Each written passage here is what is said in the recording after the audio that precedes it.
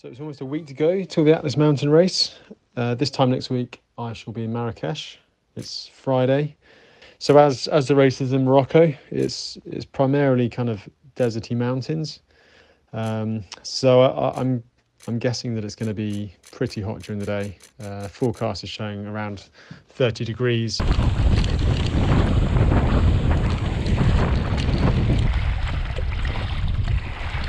Uh, but the unknown is how cold it's going to get at night. Well, good morning. Welcome to Marrakesh.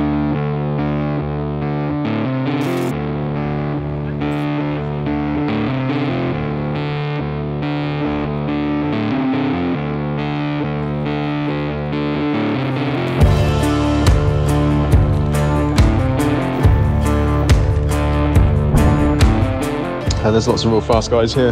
I imagine a few guys will absolutely smash it up the first climb and probably ride through the night as well. Um, so I think I'll probably play it conservatively as usual and try and look after myself.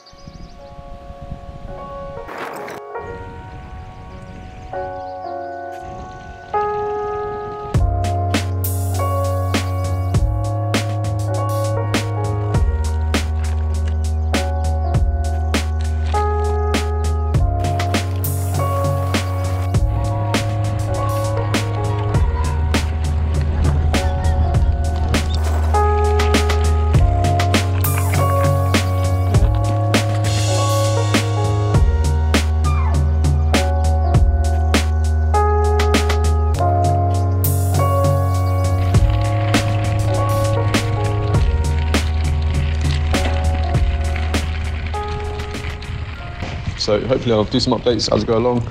Not quite sure what signal will be like uh, out in the mountains. Um, yeah, I'll, I'll try and do some updates.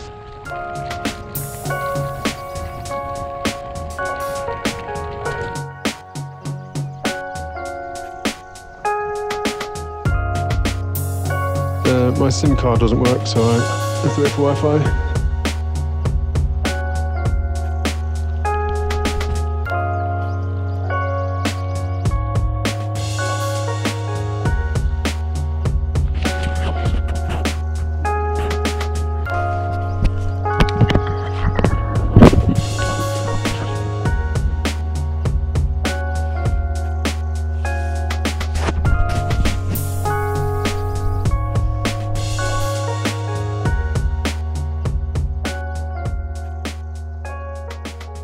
Yesterday, everyone went off super hot, and I rode my own pace and slept two hours last night in a cave, which is pretty cool. Um, and I made it to the the Fable gas station, which sells everything, and basically the whole field is here um, because the river is really high. So basically, we're stuck here until the river level is low enough to cross. You're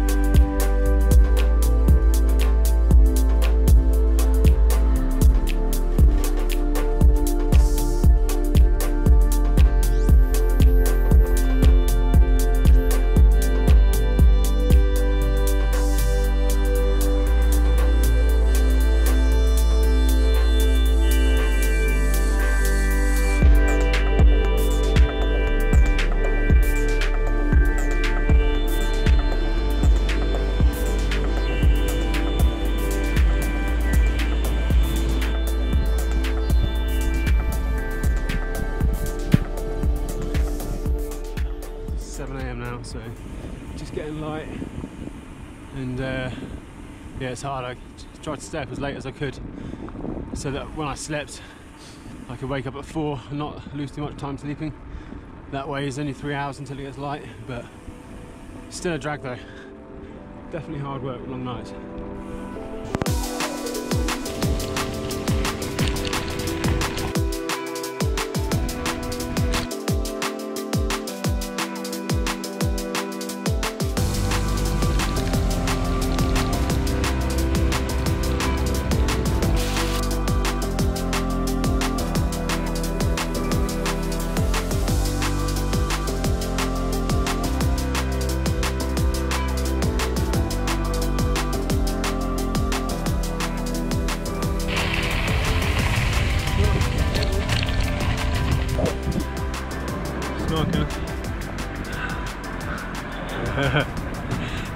Main man, Joffrey. I'm filming it. Having fun? Funny point to get down here. yeah. It's like in Mars. Temperature's gone through the roof. Saying 36 at the moment. In direct midnight, uh, midnight, midday sun. Plus, we're at 1600 meters here, so yeah, it's uh, scorching. I've got to try and keep them, keep up with the checkpoint. The CP2 is now about 25 miles away, so making steady progress.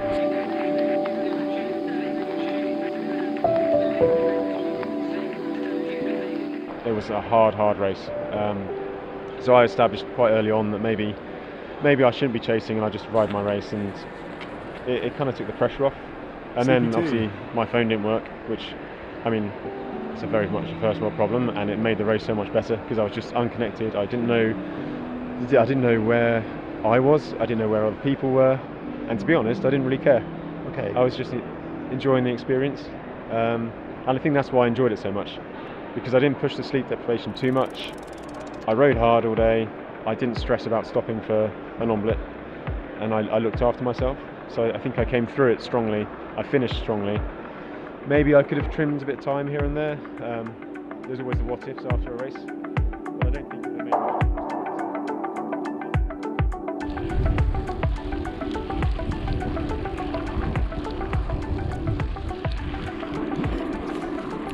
stage shift ending into the night shift.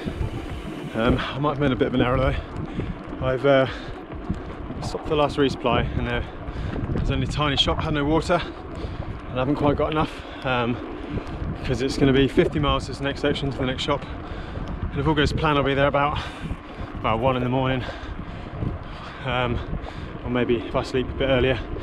So I'm not sure the shops will be open there. Um, so I'll either have to wait it out or push on but the next shop after that is 30 miles. So it could be could be uh, thirsty all night. But just as a backup I brought two litres of coke not sure if that's any good for hydrating but at least I can kid myself it's doing some good. See how it goes.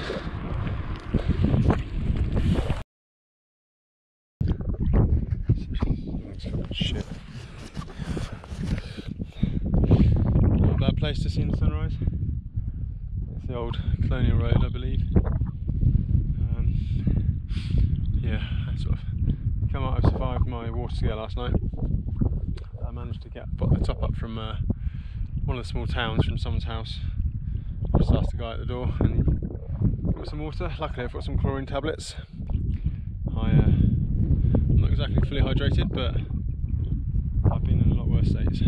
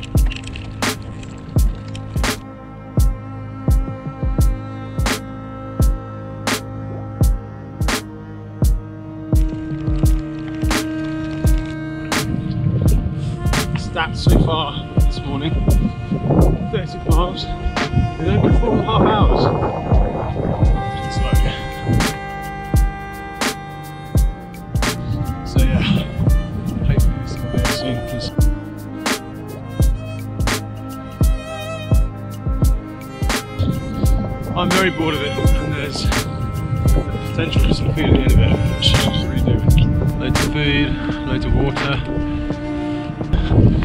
So yeah, hopefully this will be over soon because and I guess guess I'll just keep plodding away at it. Loads of food, loads of water. And I guess guess I'll just keep plodding away at it. Plodding away at it.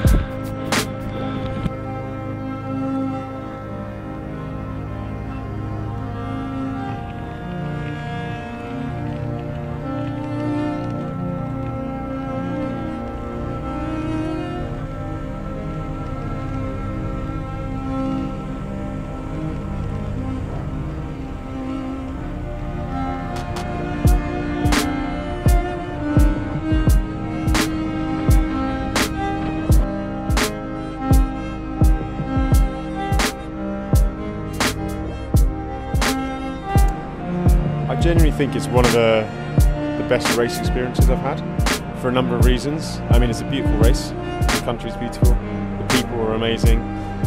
And then also, I was just in my own dream world. So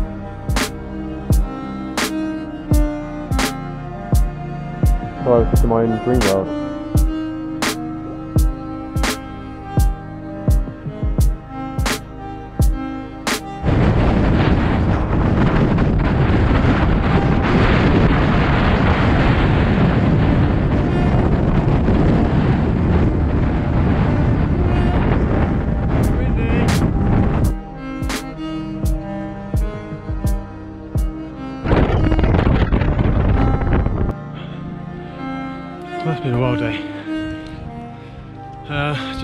50 to finish.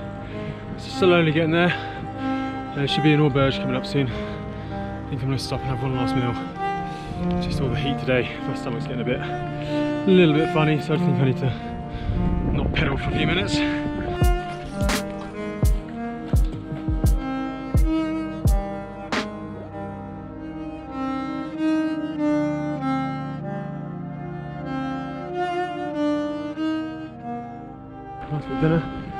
Some energy, had a Berber omelette.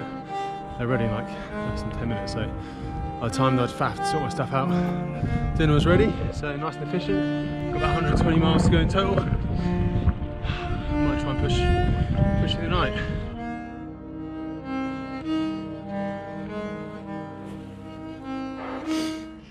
Long story. I'll explain later.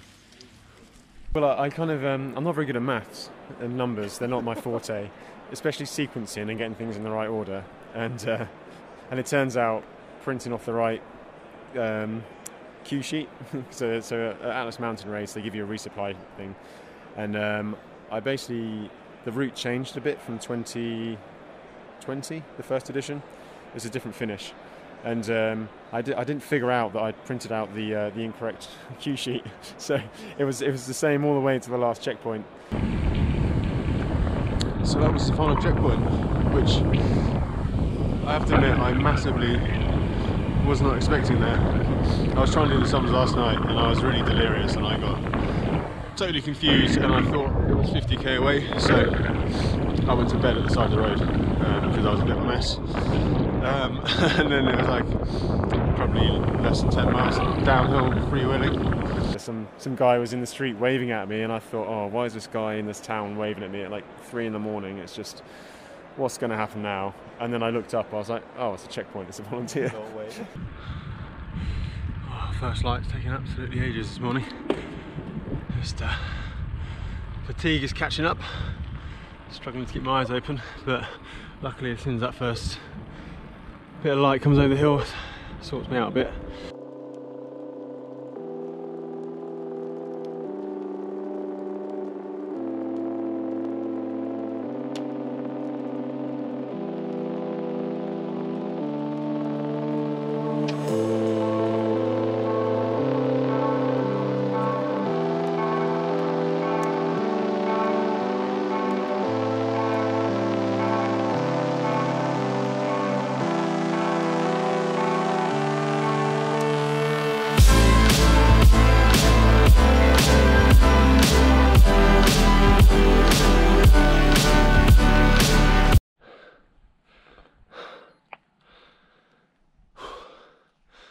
Last significant off-road sector, and of course, starts with a hike-a-bike.